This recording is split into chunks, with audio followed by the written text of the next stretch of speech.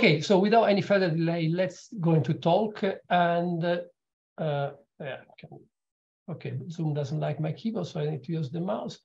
Okay, so um, basically the very, very quick summary, uh, summary is um, as follows. Um, I, am going to talk about robots, as I said, in particular, the, the work uh, we have done on trying to get robot, uh, robots to understand the world uh, around them.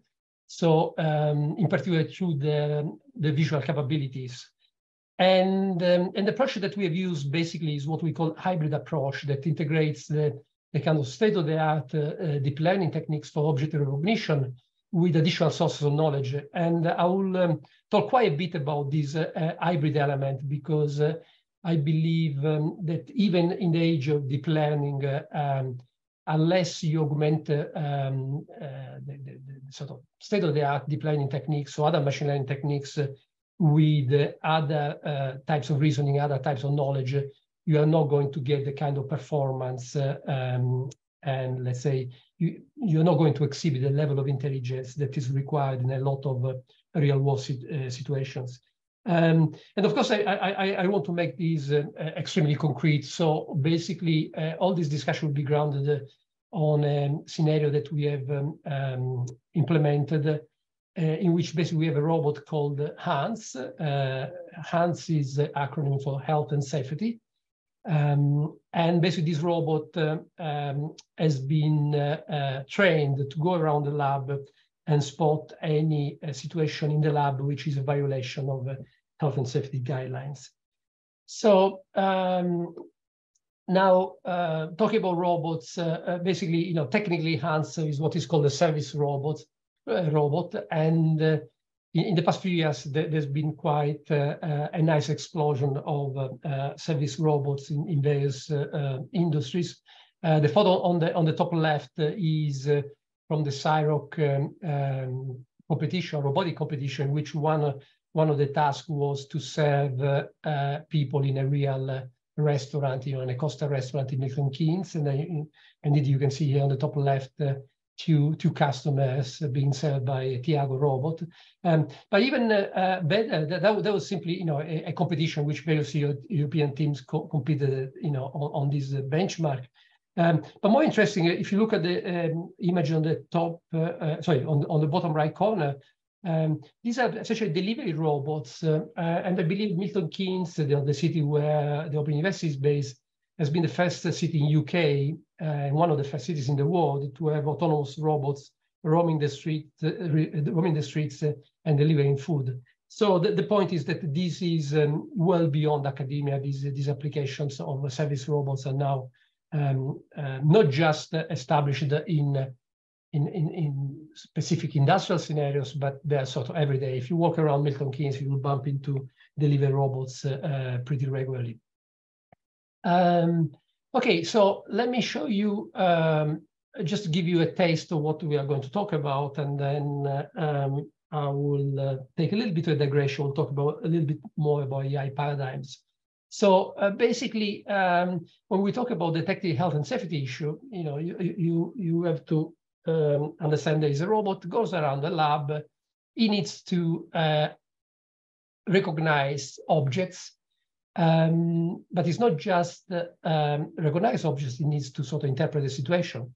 So for example, you know, a, a possible health and safety violation is uh, when uh, you get, like in this picture, you get a, a book which is uh, um, next to electric heater.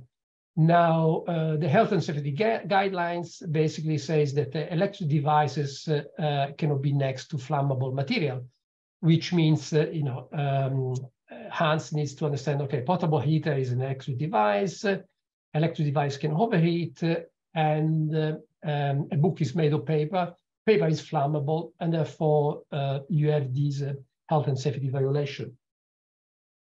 Um, so as you can uh, uh, see straight away, um, it is, uh, um, so let me just remove the bar, otherwise I can't see, okay as you can see straight away, there are uh, quite a number of uh, capabilities that are required uh, from a robot in order to be able to perform this job as a kind of health and safety inspector. First of all, you need to understand, you know, you have to have knowledge of the health and safety rules, like the one I just mentioned. Um, of course, you operate in a real world environment, so you need to identify objects in the environment. And this object identification is, is much more complicated than a lot of the standard image recognition benchmarks, which are based on rather kind of sanitized photos. Um, this is, uh, you know, the real world. In the real world, you have day, you have night, you have sun, you have clouds, um, people move stuff around, etc. So it's a much more challenging problem. And then, of course, you need to understand the, the, the, relevant domain entities, like, for example, a book is made of paper, a paper is flammable material. And, um, and of course, among other things, you also need to understand spatial relations, at least in order to interpret guidelines which talk about uh, a book uh, or a flammable material cannot be next to, to a source of heat um, or an electrical appliance. So, uh, so there's quite a lot that you, you, you know Hans needs to um, to be able to handle. So how how to go about uh, building Hans then? Um, so let, us take a little bit of a, a digression and, and, let's talk a little bit of AI paradigms. Um, as uh, um, Newell, uh, uh, Shaw, and Simon say, you know, well back in 1958 at the very beginning of AI, basically uh, what AI is about is building intelligent machines, you know, machines like Hans that can perform a job that requires a certain degree of, uh, of intelligence. So it's um, what they call uh, nicely, um, with a nice expression, a synthetic approach to intelligence. And of course, over uh, the past uh, uh, 60 plus years, in fact, it's almost 70 years since the, the um, Dartmouth uh, workshop, which was like, which is considered the birth of AI, there have been a number of paradigms that, that have been proposed. Um, indeed, the, one of the very first ones was the, uh, the one by Newell and Simon um, on uh, GPS, the general problem solver. And it's quite interesting because, uh, you know, in the early days of AI, the, the idea was uh, essentially that uh, the mind uh, was some kind of computer and reasoning was essentially logical reasoning. Um, and, and therefore, the, the problem solver, you know, worked on, um, on a search space in which operators were primarily logical operators as, um, as shown in this, um, in this slide.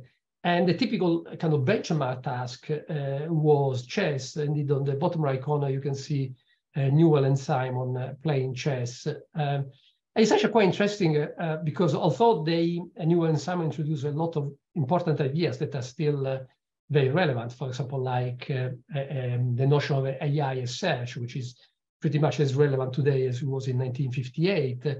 Um, a lot of other things they didn't get it right. I mean, uh, you, you, you can't uh, you can't really solve the most interesting real world problems simply um, by mapping the, the problem to a nice logical framework. Or at least the, the, the, jump is too big from, from the complexity of the world to the nice uh, uh logical reasoning as expressed in these uh, in these operators. Um, in fact, interestingly, you know, I, I, recommend that there's a book by Garry Kasparov uh, called Deep Thinking, which is basically about AI and chess. Um, and they say that, um, of course, Newell and Simon, when they were talking about these things and they were using chess as an example, it was primarily because neither of them could play chess properly. You know, they really didn't understand chess to the level of, um, you know, a, a world champion like Garry Kasparov. And indeed, chess players they don't search spaces the way uh, Newell and Simon um, thought about chess. The, it's all pattern recognition, uh, which is a completely different uh, uh problem-solving paradigm. Um, so basically, the limitations uh, uh, of this initial paradigm were quickly identified.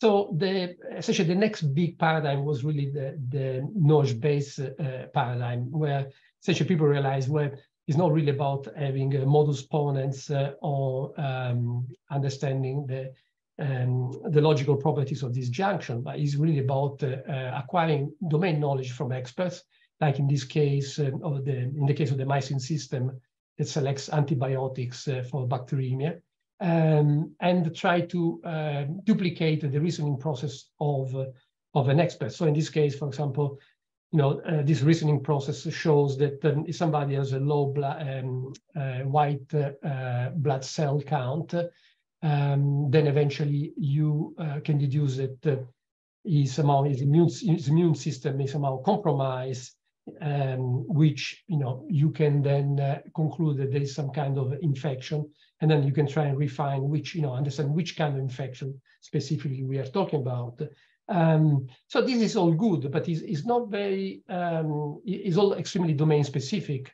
So what then uh, uh, Bill Clancey did um, in analyzing a number of expert systems of this kind he said, well, actually it is not just uh, about domain knowledge, but it's also about these uh, um, more general uh, problem solving methods like this heuristic classification that can be used in a variety of different domains. So in particular, in this case of MYCIN what they're doing, they are taking some data, they are um, uh, carrying out a, a, number of abstraction steps until uh, they conclude that we are talking about uh, a, immune, um, uh, immune deficiency or a compromised host. And then there's a heuristic step, which then leads to a category of solutions, and then the, you refine to a more specific solution. So essentially is this uh, um, abstraction step going up and heuristic step, let's say, going horizontally, and then a refinement step, which is called the heuristic classification model. And this paradigm pretty much dominated AI in the 80s and 90s.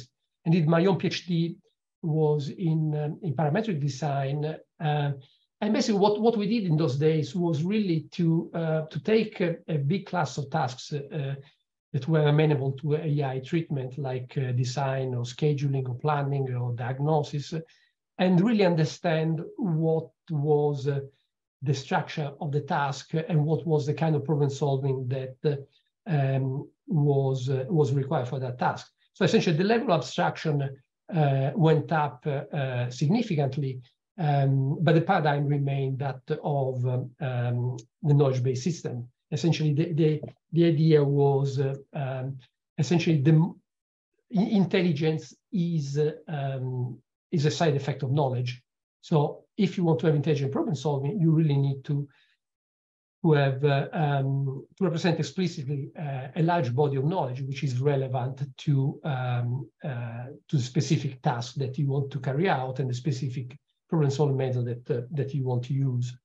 Um, and of course, this knowledge-based paradigm was quite dominant uh, for a number of years. and, um, and, and in particular, as a side effect of this notion that you know you need lots of knowledge in, in, in order to be intelligent, basically, this led to um, a variety of um, activities uh, uh, to do with building very large knowledge bases. And of course, the most, uh, well, the, the, the, the, pioneering one was the Cyc knowledge base um, a project that started in, in 1984. But then, um, so there was all this flurry activity, but the bottom line was that um, nowadays uh, the, the dominant paradigm is not really the knowledge-based paradigm, but it's really the deep learning paradigm, where essentially you know you have these uh, sort of super clever machine learning with uh, multiple layers of neurons on top of each other, which uh, um, provided enough data um, are available uh, produce uh, uh, rather exceptional results.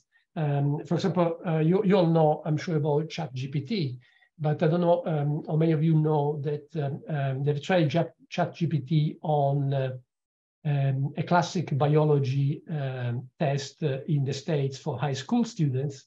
Um, on, and out of 60 questions, uh, ChatGPT got 59 uh, correct, which basically means, you know, is, uh, is basically performs as well as a top uh, high school student. Now, the um, interesting thing was that uh, um, in during the, um, I think uh, during the 20s, let's say between some, for a period of almost 10 years, between 2002, 2003 to 2013, oops, sorry, um, the the Allen Institute actually worked on the same on on, on this goal, you know, building in the project Halo, building a system that was able to, to do biology, chemistry, uh, biology and chemistry, physics at the, at the level of a high school student. Um, and basically, they pretty much failed. You know, thought they did a lot of interesting work. They didn't achieve uh, the performance that ChatGPT uh, was able to achieve. Um, and uh, the, um, one can argue that the reason why they did that was essentially they were stuck into knowledge-based paradigm as opposed to um, working on uh, um, being based on a deep learning paradigm. Now, in, in, reality, both paradigms to some extent they are based on, on data and knowledge, but um, it, it is interesting that uh, a quite flagship project uh, that used uh, the knowledge-based paradigm didn't didn't really reach the objectives that they wanted to reach, while ChatGPT, you know, reasonably quickly, once it was applied to, you know, solving biology problems, they uh, they were able to do it. So, uh, so yeah, deep learning is the is the current, you know, dominant paradigm. However, you know, it, it is also the case that uh, um, there are some uh, um, limitations uh, and non-trivial limitations uh, first of all, you know, you need data. Um, uh, if you do have data, then uh, the performance decreases quite dramatically. Um, and also, uh, there is a certain element of brittleness, again, because it's so much data, you know, data-driven. That is, as long as soon as they um, uh, encounter, you know, deep learning system encounter a scenario which which is novel, um, then um, the performance decreased dramatically. And this is not, you know, you don't have to come up with any esoteric uh, scenario. You know, you just do object recognition uh, instead of doing on, uh, you know, pictures provided by Amazon, you do it in the real world, and uh, the performance decreased dramatically simply because the real world is is much more dynamic than the Amazon catalog. Um, but then, the, you know, uh, I, I, would argue that there is a kind of fundamental uh, um, issue here that is um, certainly compared to the way um, people learn, you know, people learn, you know, we, we, we learn concepts, um, which is different from learning patterns uh, as uh, deep learning systems do, or, or, in general machine learning systems do. So let me give you uh, uh some example what I'm talking about. So is, uh, um, um, can, can anybody tell me what, what is this? Anybody switch on the audio for a second? Tell me what is this? Axel? Volkswagen Beetle. Exactly. So you pass the test. Now, uh, have you ever seen a Volkswagen Beetle that looks like a ball or a big giant ball? Definitely not. No. Exactly. So you see, uh, you uh, uh, you are a human being. You have demonstrated that you are a human being and not a chatbot, even if I cannot see you right now because uh, um, you, you, somehow you have the concept of Volkswagen Beetle. You have not just uh, been trained to recognize images of Volkswagen Beetle, where you know typically looks like he has four wheels, uh, he's uh, you know much wider uh, than taller, etc. etc. etc. Um, you you take uh, you you train um, um, a machine learning or deep learning system on you know 1,000 pictures of Volkswagen Beetle Beetles and uh, um, there is very high probability that if you show this uh, picture, they, they will not be able to recognize because uh, they just recognize patterns, in particular geometrical patterns, as opposed to the concept like, hey, that uh, you know that uh, back end looks exactly like like like that the rear lamp there uh, looks exactly like a Volkswagen Beetle, and the, the wheel looks you know says Volkswagen, etc. Um, I give another example, which actually I did just a couple of days ago for a different presentation. Uh, this is um, DALL-E, that is, you know, these um, one of these uh, chat GPT uh, system, like systems, that is able to generate art from uh, um, um, a description. So I told uh, DALL-E, say, okay, uh, can you uh, generate the picture, the picture, can you generate the image of a lion with an Etruscan iPhone? And of course, you know, DALL-E is amazing. So it just does, you know, generate a, a lion with an iPhone. Um, the problem is that, of course, this is an Etruscan lion with an iPhone, which is not the same thing as a lion with an Etruscan iPhone. And moreover, in Etruscan time, there were no iPhones. So my um, um, the spec I gave is nonsensical. Um, but actually, but the problem is DALL-E hasn't got any domain, you know, doesn't really know what he's talking about. Basically, what he does, he has a, a huge database of images, uh, annotated images, you know, billions and billions of annotated images. So it means that as, as every time we ask him to produce an image, he can construct a new one from the database, but doesn't necessarily mean that he understands uh, uh, what we're talking about. And therefore, if I say something nonsensical, he just uh, uh follows up. So, um, okay, so um, as a result of that, there's been uh, um, quite a lot of interest in this hybrid AI, you know, integrating machine learning with explicit knowledge representation. Uh, and indeed, for the past, uh, I think it's now three or four years, there's been um, um, the Triple AI Make um, uh, workshop um, um, one of these Spring Symposium, uh, AI, Triple AI Spring Symposium workshops, which is really about um, uh, you know, getting together people who are interested in the integration of machine learning with uh, knowledge engineering, knowledge-based systems in, in, general. In fact, I also noticed that just in the past uh, uh, two, three months, there have been a, a, a couple of um, major reviews of the field, um, primarily because there is, yeah, there is a, a, lot of interest in, in the integration of these two uh, paradigms.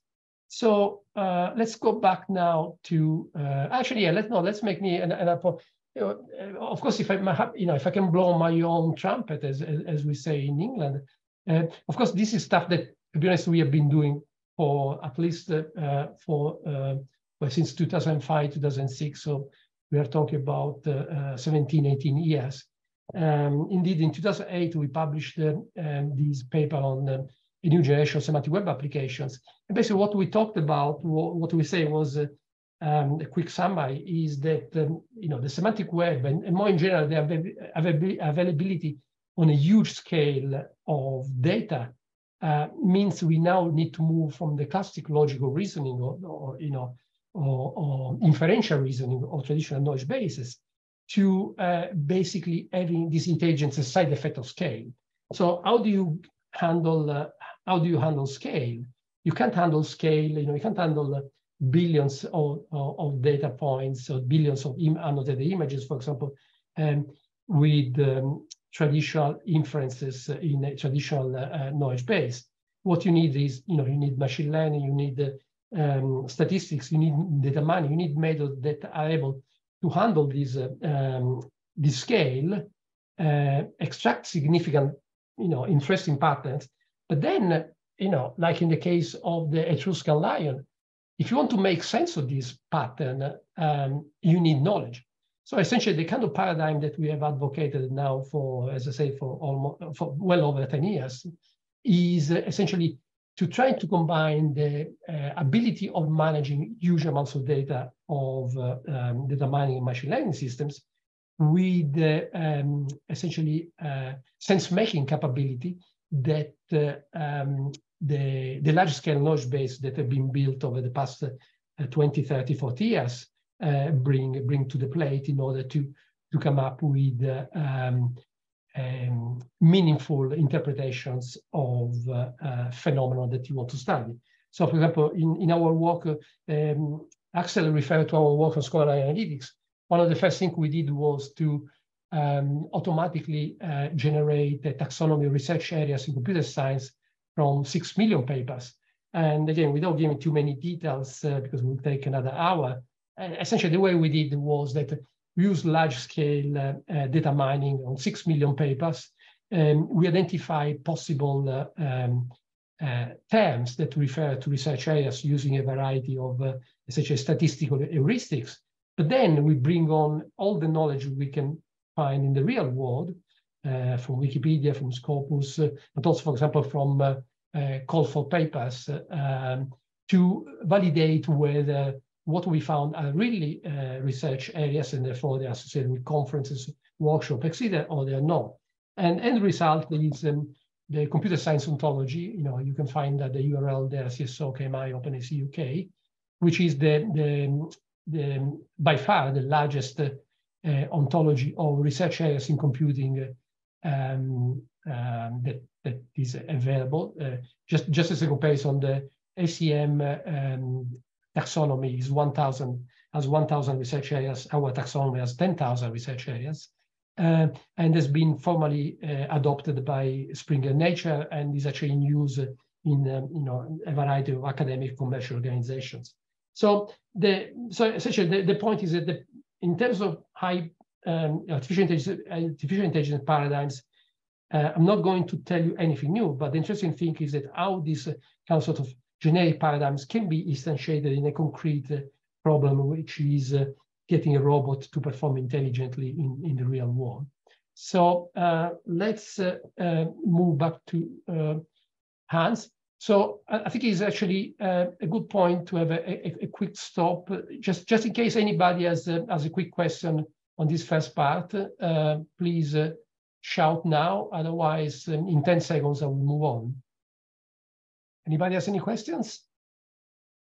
I do, if you don't mind.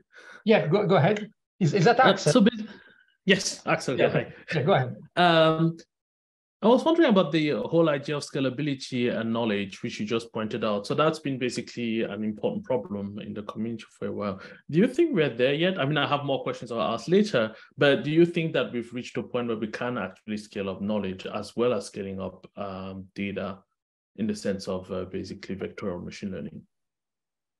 Um, what the um, I mean, when, when you talk about scale, it all depends on what you want to do. Yeah. So what what what I emphasized in in my um, in my presentation so far was that uh, the the the the way knowledge-based system operated, you know, they, they operated through rules or through, you know, or, or inference mechanism, essentially to that, uh, you know, you remember that I showed you that picture of the, the search space with the operators, yeah? Now, so you, you have these operators and the operators apply to a knowledge base. Now, if you're talking about uh, billions and billions and billions of uh, data points, um, then uh, that paradigm, um, I would say, still has scalability problems. You need, you need, you need to do something else, yeah, if you want to to to to infer. So, uh, and of course, the, the other thing, of course, in some cases, you don't even have the knowledge in in, in the format that, that that you want to have. So the so the answer to your question is if you're talking about, for example, knowledge graph technology, if you're talking about uh, triple stores uh, and SPARQL, etc., I think the level of performance now um, is uh, uh is extremely good.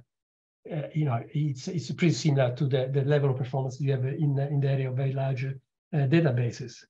Um, but if you're talking about um, doing things where you have a lot of unstructured data together with structured data, or you need to analyze lots and lots of data points to extract uh, meaningful patterns uh, to get insights, then uh, uh you, you, you can't do that with, you know, with, I would say with knowledge technology. You have to do, you have to use other methods and then bring in the knowledge technology. That, that, that would be my, I would say, um, my standpoint or my claim. Thanks.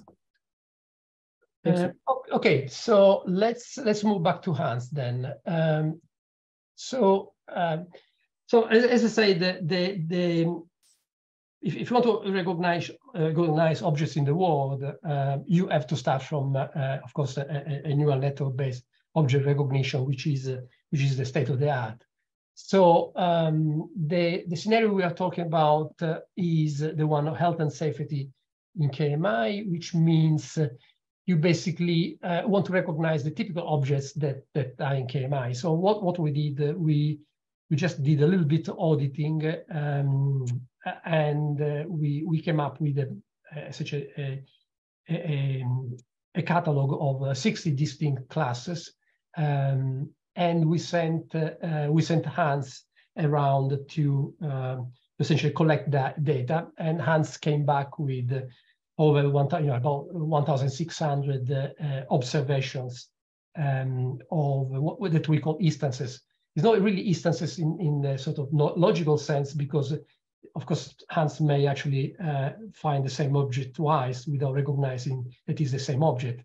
So um, it's just, uh, let's say, um, observations of uh, individual items in, uh, in KMI.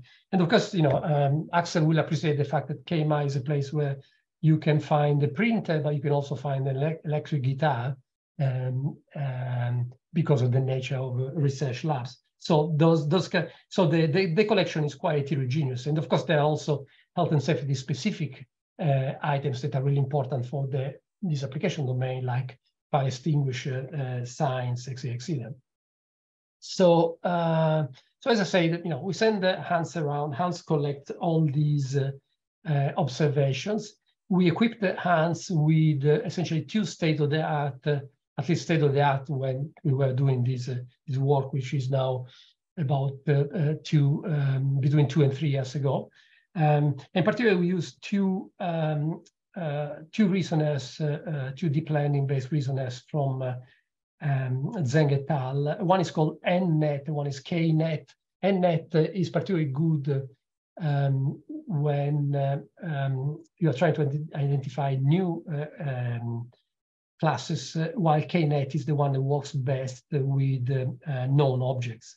And basically, um, uh, I mean, you know, as you can see, there, there are a number of sort of results, but the, the, really important one is the one highlighted. Basically, if you're talking about um, uh, the instance-based uh, measure, in, in, which means if you're talking about recognize individual items as opposed to um, performance on um, on a class-based uh, um, test set, and um, essentially, you know, it doesn't really go higher than 50%. You know, every every every two observation, one on average will be will be wrong. So it's not that bad, but of course, as you can see, is much, much worse than what, uh, for example, KNet can do on the Amazon uh, uh, test bench, where they really have, um, you know, close to 100% uh, uh, success. And the reason for that is simply um, the, the difference between the real world and the slightly sanitized world of uh, image recognition.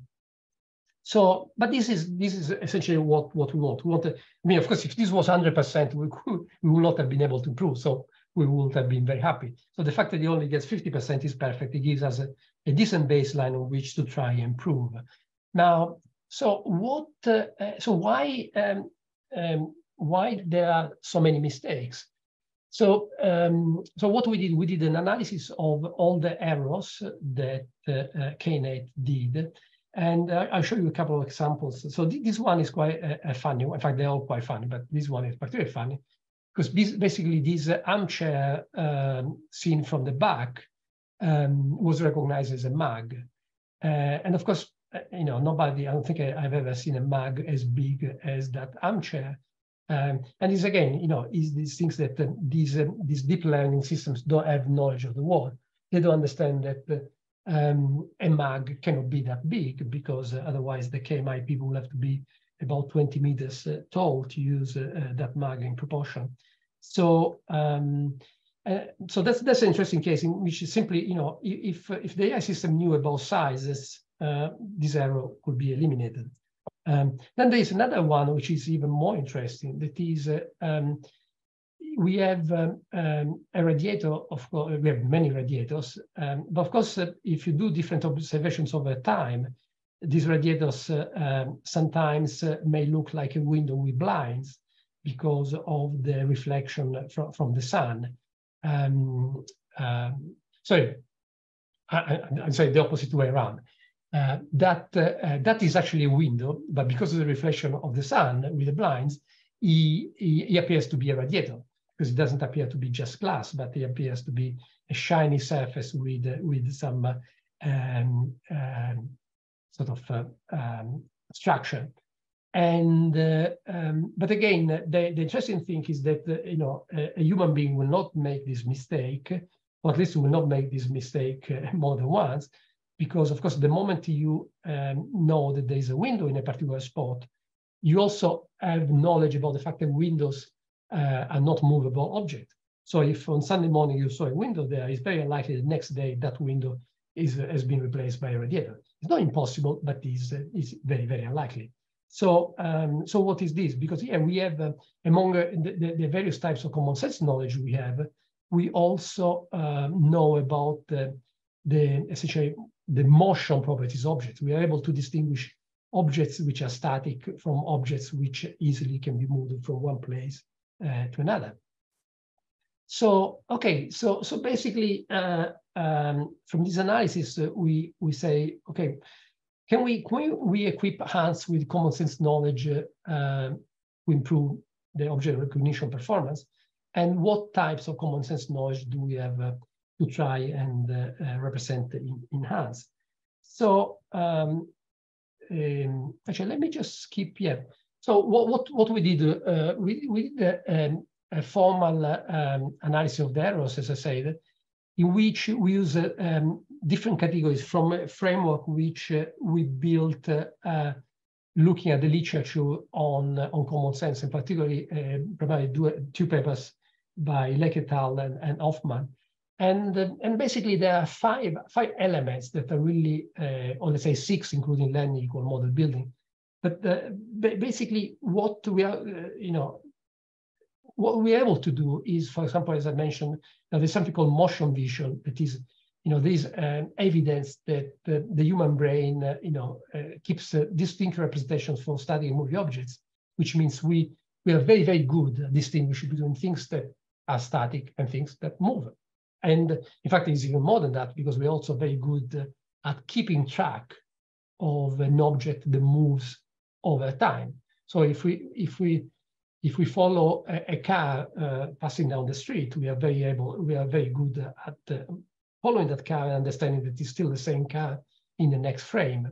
Um, there is uh, um, a lot of evidence again that uh, you know 3D is something that we construct uh, essentially in, in post-processing from from 2D shapes. Um, of, of, course, we have this very very very fast uh, perception mechanism that uh, means that not just with old objects, but also with new objects, we can recognize them extremely fast. Of course, we are very good at understanding um, compositionality, at, at uh, identifying the subparts of uh, objects and the spatial relations. Um, and something really, I would say, mind-blowing is that um, there have been some experiments that show that uh, even uh, infants, you know, younger than six months, uh, understand certain uh, basic physics principles like uh, inertia, which is um, which is quite amazing. So you know, the bottom line is that you know human beings are pretty good at um, at understanding the world, and essentially the, the key thing is that we we construct models of the world and then we are able to keep uh, these models uh, up to date to dynamically change but also to apply them to a situation that we have already uh, experienced before so um, what uh, uh, so what Agnese did was essentially to to look at how to operationalize this framework in uh, in a way which could be implemented. So that which means, for example, in terms of naive physics, is to um, represent the physical properties of objects in uh, in a way that a robot can can make use of this representation. Um, in terms of comp compositionality, means to uh, you know represent spatial reasoning, partial relations, and be, again, being able to reason about that. Uh, fast perception, in a sense, is an easy one. You know, DL methods um, uh, can really provide extremely fast object recognition, at least on known categories, not necessarily new ones. Um, generic 2D, view, 2D views, again, these are provided by existing KBs, and motion vision means, you know, to equip, uh, for example, robots with the ability to to um, uh, track objects over, over time. So as I said, we did uh, these uh, uh, data error analysis. And it turns out that uh, although there are a number of explanations for the errors, there are three, I would say, elements of common sense that really stand out. One is um, the, the one I showed you with the example, the armchair, the mug, the, the relative size. If only Hans understands size, in particular relative size, then we can we, we, in principle, you know, the hypothesis that we should be able to improve its performance on object recognition. Um, qualitative spatial reasoning, again, uh, was something that uh, uh, appeared in a number of errors. And the, the, the third thing is the example that uh, I gave you about the, the window and the radiator motion trajectories, you know, the ability to, to understand the difference between objects that are movable, objects that are not movable, and the fact that non-movable objects uh, are likely to change over time in different observations. So equipped with this uh, um, uh, error analysis, uh, um, well, actually, let, let, me, well, one other thing, of course, it turns out to be quite useful is also ability to read, um, which was not in the framework, but that, that's quite obvious. So we also did a, a, KB coverage study. I won't have much time to talk about these, uh, but the interesting thing is basically the only, um, turns out the only KB which has information about these uh, motion trajectories and difference between static and, and uh, movable objects is NOROB. So uh, essentially this analysis was quite useful to identify gaps in the common sense knowledge that you can extract from existing KBs as opposed to building new, new ones. So, um, okay, so what, what we did, in particular what Agnese did was to say, okay, let's uh, let's introduce a size reasoner and see whether the performance uh, improves. So, um, and, and uh, again, you know, in, in terms of uh, cognitive science, uh, um, there is quite a lot of evidence that we use size big time to understand um, the reality around us, um, as in the example of the armchair as mag. But basically, you know, there is, for example, there, there is the work by Eleanor Rosch, which uh, which basically says that uh, we have um, um, in our in our mind we have essentially uh, canonical um, uh, understandings. You know, let's say understanding of canonical size. So we expect a bean to be of a certain size. We expect a car to be of a certain size, um, and uh, we use these again as as part of our uh, way to categorize and conceptualize objects. So um, I, I, won't, you know, I won't give you all the boring details uh, of the site, except to say essentially um, we we went for a kind of qualitative, you know, we abstracted from uh, the specific dimension of, you know, for example, a, a, cardboard box can be very small, can be very big, can be flat, can be uh, thick, you know, of course it's flat when it's folded. So it appears in multiple shape. So what uh, what we did essentially was to uh, arrange um, the representation size according to two dimensions. One is the depth, whether things are, are thick or, or, flat, and the other one is the area, whether things are small or, or large. And these, um, um, these again, because uh, this allows us uh, um, to do much faster inference uh, um, when um, Hans goes around trying to understand objects. So we, we integrated this uh, size reason with the machine learning algorithm, with the deep learning algorithm. Uh, and the integration was done in, in, in a basic, in a, uh, according to a waterfall model, the kind of cascade model. Essentially, first we run the, the deep learning algorithm. In this, in this case, the, the deep learning says, well, um, these things that in reality is a fire extinguisher. It seems to me like a bottle because indeed the shape of the fire extinguisher is very similar to a bottle. And it essentially come, comes up with these um, uh, three ranked predictions. Um, is a bottle, if it's not a bottle, a fire extinguisher, if it's not a fire extinguisher, is a bin.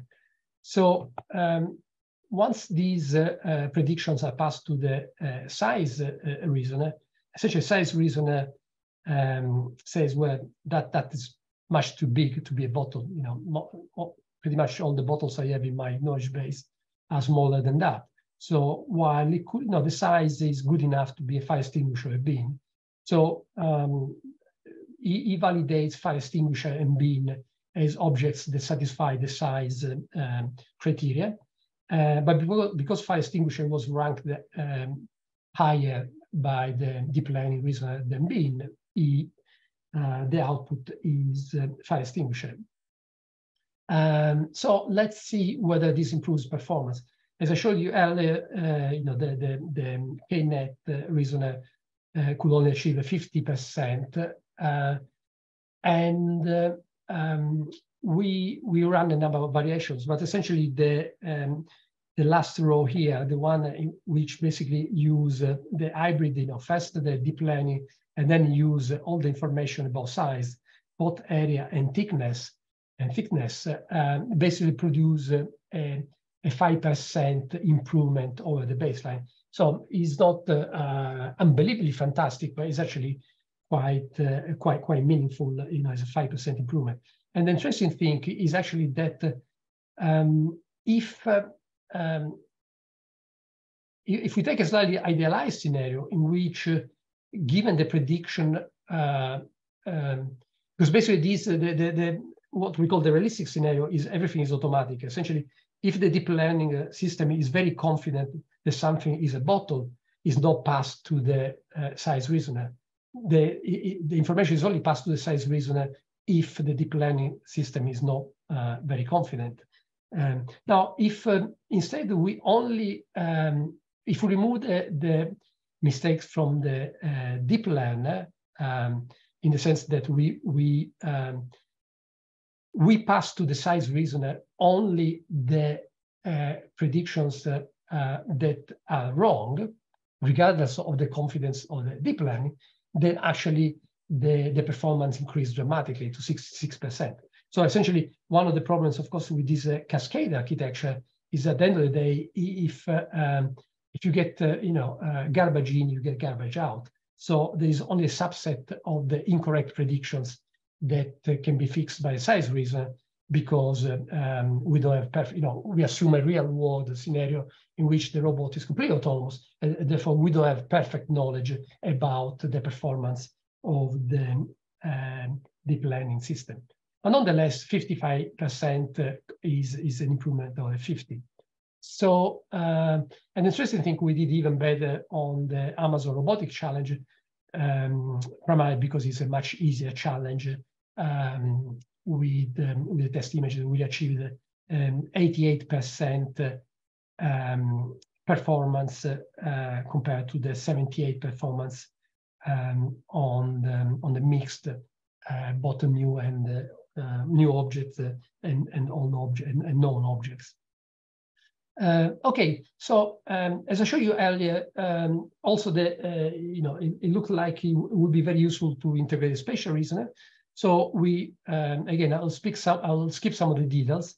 Um, and basically what we did we you know we, we we did a very formal uh, um, uh, theory, um, essentially first order logic theory uh, in terms of 40 axiom of all the spatial relations that um, that we needed.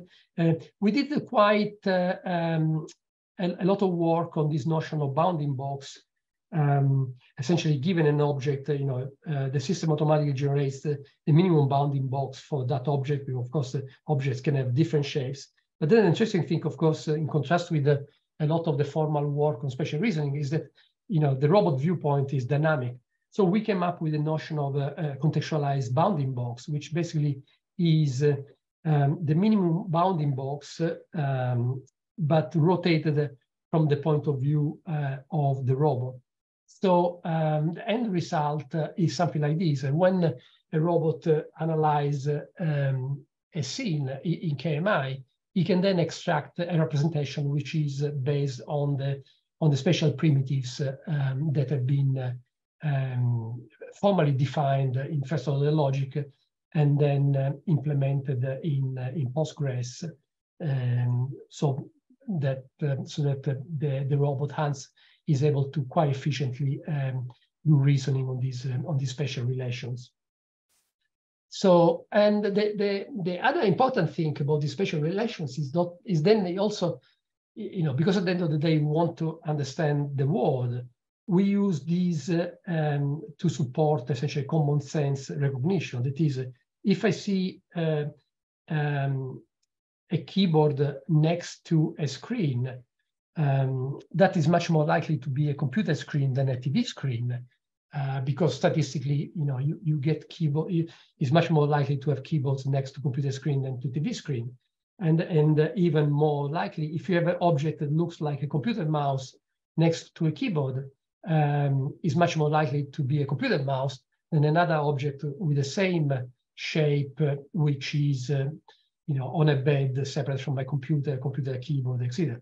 So essentially, we we tried to um, to reproduce this sort of typicality reasoning that has been uh, uh analyzed in depth in uh, in cognitive science to improve the uh, the ability of Hans to to recognize objects.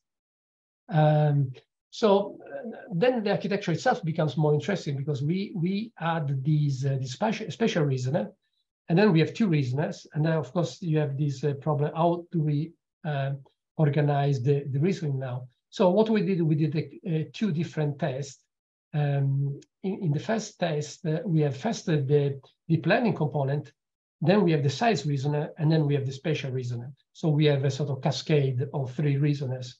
In the second test, we have the deep learning component, and then essentially we have the size reasoner, spatial reasoner in parallel in which uh, um, the size reasoner uh, um, gets the input from the DL element. The spatial reasoner also gets the input from the DL element, and then essentially the um, the various ranking are combined. And uh, um, so, for example, like in, in this example, um, basically uh, there is the, you know in fact it's the same example as before. Is bottle fire extinguisher bin is the ranking from DL. Um, we already seen the size reasoner. Uh, if you look at the spatial reasoner, the spatial reasoner say, hey, the bin is on floor, which makes sense. I have seen a lot of images of beans on floor. So that, that's consistent with that image. Um, but also the fire extinguisher is near the fire extinguisher sign. So also that that's uh, consistent. So both fire extinguisher been uh, plausible candidates for the spatial reasoner. Fire extinguisher being a plausible candidate for the size reasoner. Again, we use the ranking, uh, the regional ranking from DL, and we go for fire extinguisher again. So um, again, if you remember, we had uh, achieved 55% with NN plus size reasoner. Now we had the special reasoner.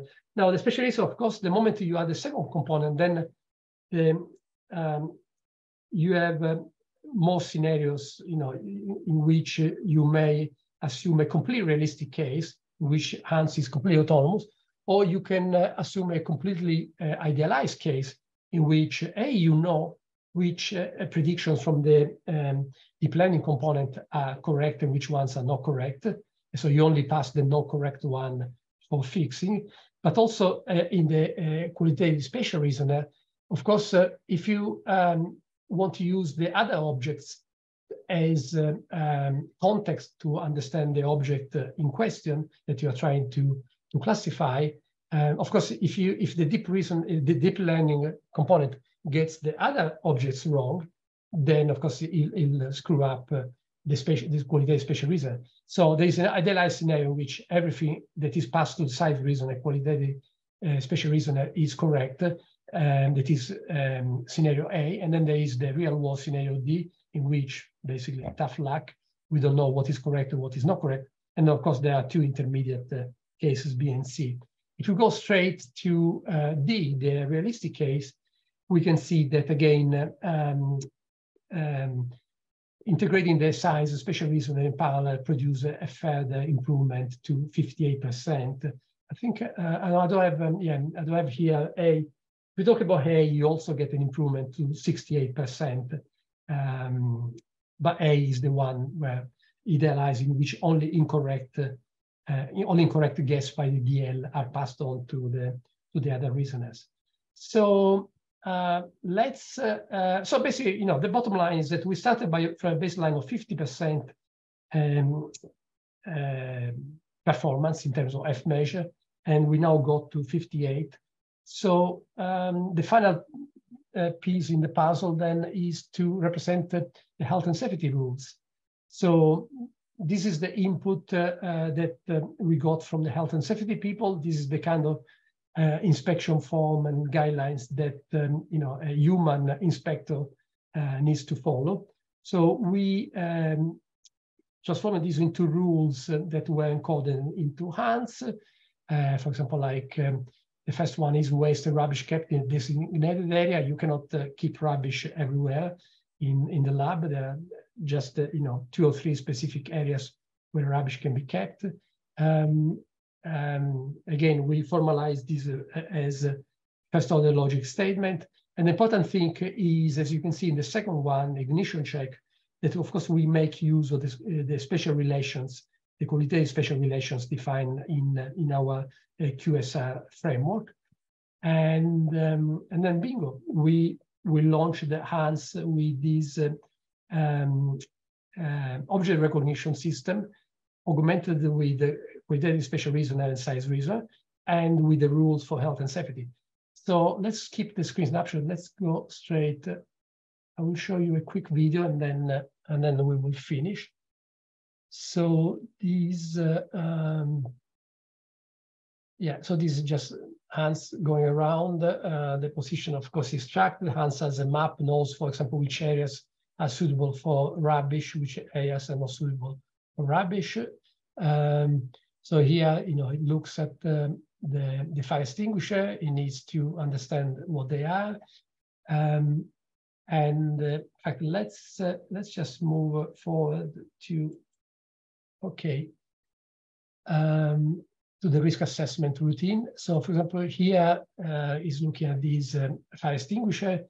Um, use the qualitative special, oh, let's just go back. Let's, uh, hey, can you go? Okay.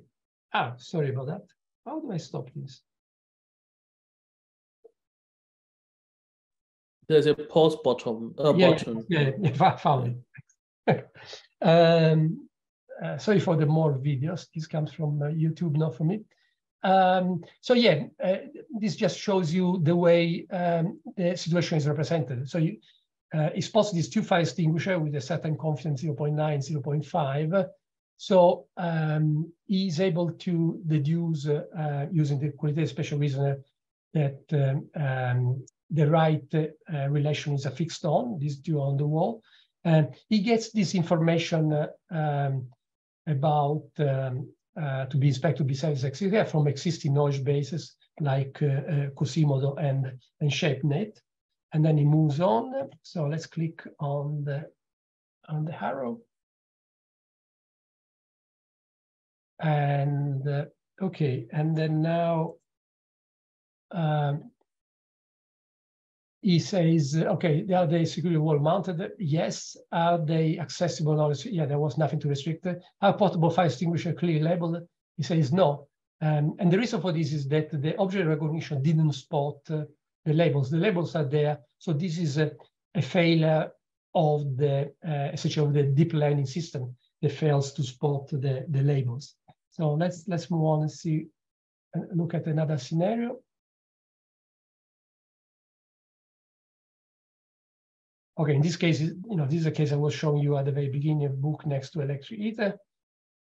Um, and this also shows you uh, a little bit of the the trace um, of the system. You know, it's, it's trying all the various, you know, it's doing the object recognition, then trying all the various rules.